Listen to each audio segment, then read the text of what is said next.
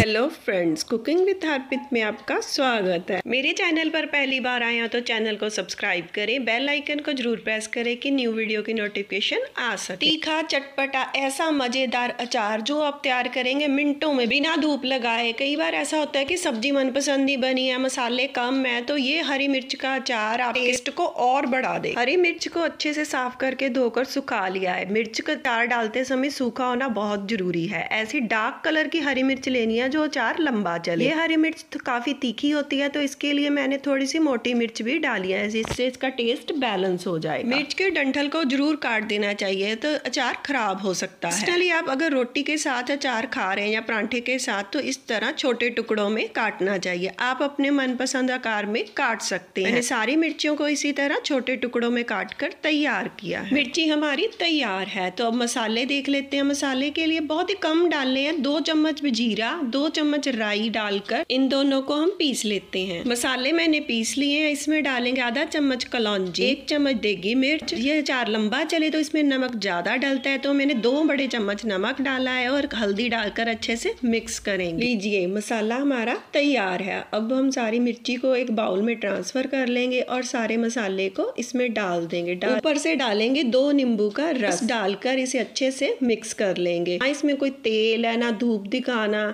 झंझट नहीं है। मिनटों में बनने वाला ये अचार है। बहुत ही टेस्टी चटपटा ये बनता है और ये कभी खराब नहीं होगा। बस एक ही बात का ध्यान रखिए कि जब भी आप अचार डालें तो जार सूखा साफ़ होना चाहिए और जब अचार निकालें तो चम्मच भी सूखा होना चाहिए और अचार में कभी भी आप चम्मच ना चम्मच रखने से भी अचार खराब हो सकता है। देखिए मिनटों में अचार हमारा तैयार है। बहुत कम मसाले डाले हैं ना तेल डाला ना धूप में दिखाना। मिनटों में बनकर यह अचार तैयार है। रेसिपी पसंद आए तो वीडियो को लाइक शेयर कमेंट करें और मेरे चैनल को सब्सक्राइब करें।